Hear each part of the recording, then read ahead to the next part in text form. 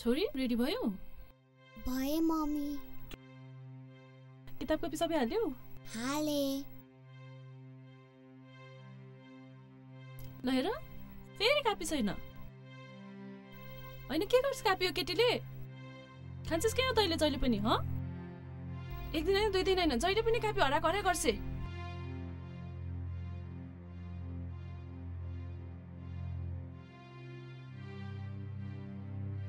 ल यो कपी हालेको छु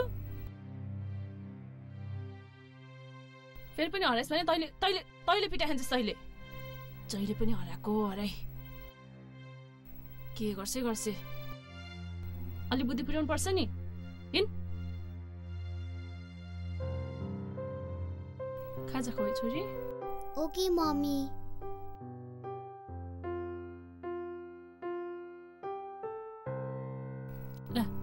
आज पनि यसले कापी हराएर आइछ यसलाई त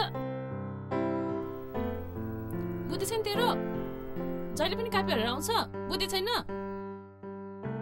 होइन बच्चाहरू जहिले पनि किन भिड्छौ तपाईँले गर्दा त हो नि ल जाऊ अति न तपाईँको छोरी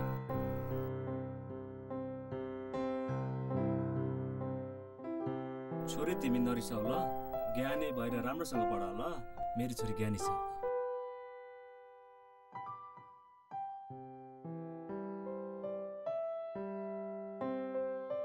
छोरीलाई त्यसरी जहिले पनि गाली गर्ने नगर न। बरु एकचोटि राम्रोसँग बुझेर सम्झाउ न। अनि मैले के गर्ने त? जहिले पनि कापी कलम हराएर आउँछ। रिस उठिहाल्छ नि। त्यसो हो भने भोलि एकचोटि स्कुलमा गएर राम्रोसँग बुझेर के हो पत्ता लगाउ न। हुन्छ। मेरो छोरी स्मृतिले जहिले पनि आफ्नो कापी हराएर आउँछ। तपाईँको टिचरले के विचार पुर्याउँदैन। त्यस्तो त नहुनु पर्ने हो। सर त एकदमै राम्रो हुन्छ। एकचोटि नानीलाई नै सोध्ने हो कि?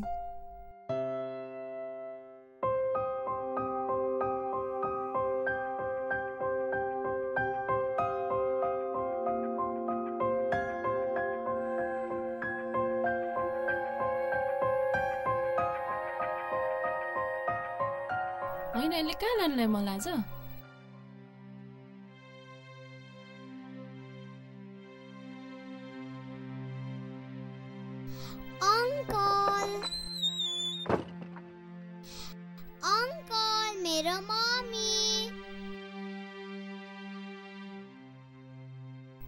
ल हेर कापी त यहाँ पो रहेछ।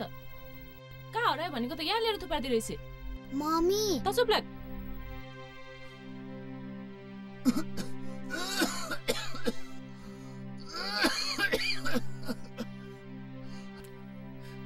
हुँदैछ नानी।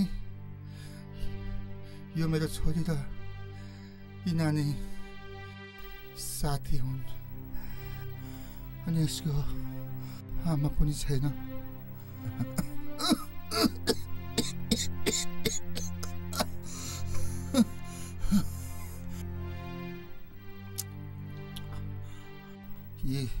नानीले।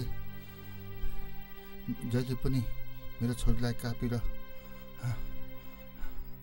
खानेकुरा ल्याइदिन्छ।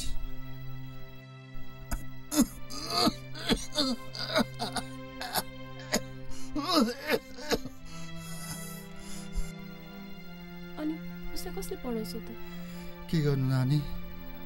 हिजो हिजो अस्तिसम्म आफैले कामबाट पढाउँदै थिएँ। तर अहिले त आफै बिरामी छु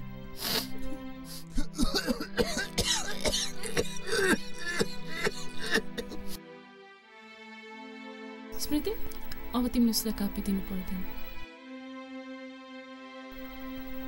म उसको सम्पूर्ण खर्च बेहोरिदिनेछु तपाईँ ढुक्क हुनुहोस् यो सबै कुरा तिमीले पहिले नै भनेको भए न तिमीले पिटाइहाल्थ्यौ न मैले तिमीलाई कुट्थेँ पिट्थेँ न तिमीले यसरी दुःख पाउँथ्यौ बेकारमा घरमा बुबासँग टेन्सन मात्र भयो। सरी मामु। तपाईँ ढुक्क हुनुहोस्।